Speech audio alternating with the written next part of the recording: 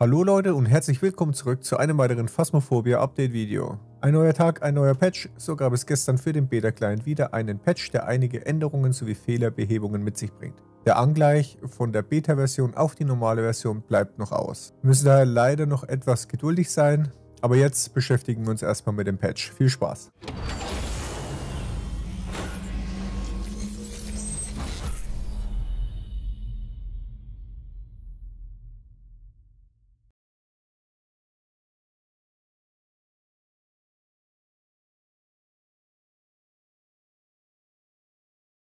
Beginnen wir mit den Fehlerbehebungen.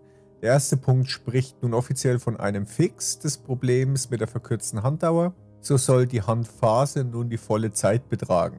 Ich muss das gleiche leider etwas wieder dämpfen, denn gestern im Livestream hatten wir nach dem Patch leider immer noch das Problem. Gefühlt etwas seltener, aber nach wie vor da. Daher leider nur ein potenzieller Fix. Hier wurde ein Fehler behoben, bei dem das volumetrische Licht der starken Taschenlampe nicht dem der Schulterlampe entsprach. Die tägliche Aufgabe Überlebe einen Hand wurde abgeschlossen, auch wenn keine Handphase startete. Dieser Fehler wurde mit dem Patch behoben. Und zu guter Letzt wurde ein Fehler behoben, bei dem die Radios im Haus nicht eingeschaltet werden konnten. Hierzu noch eine kleine Bemerkung. So war es nämlich tatsächlich so, dass die Radios eingeschaltet wurden, man es nur nicht hören konnte. Dies konnte man mit den Audiosensoren sowie dem Parabolmikrofon nämlich nachmessen. Außerdem bringt dieser Patch gleich vier Änderungen mit sich. Für mich die beste Änderung gleich zu Beginn. So wurde das Spawnverhalten der Geisterorbs nochmal leicht überarbeitet. So soll es nun nicht mehr möglich sein, dass Geisterorbs an der Decke oder am Boden spawnen, was seine Identifizierung nochmal stark vereinfacht.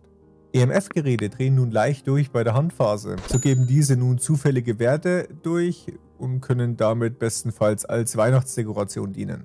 Dieses Verhalten soll den Taschenlampen während der Handphasen gleichen.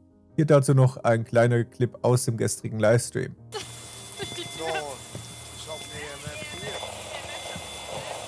Wir sind übrigens täglich ab 19 Uhr live bei uns auf dem YouTube-Kanal. Wir spielen regelmäßig Phasmophobia mit der Community.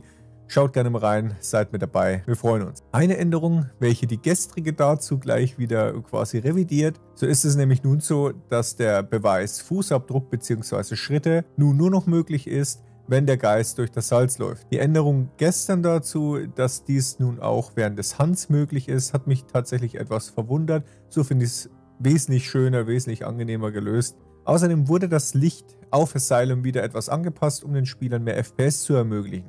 Gab es hierzu wirklich bei einigen Probleme, die dann wirklich mit wenig FPS zu kämpfen hatten? Lasst mich gerne in den Kommentaren wissen, wenn ihr davon betroffen wart. Ja, wie eingangs schon erwähnt, bleibt der Angleich der normalen Version auf die Beta-Version leider noch aus. Vielmehr werden nach wie vor noch Änderungen durchgeführt, was ein bisschen darauf hindeutet, dass dies noch ein bisschen dauern kann. Denn solche Änderungen müssen ja äh, zum Teil auch nochmal vernünftig getestet werden.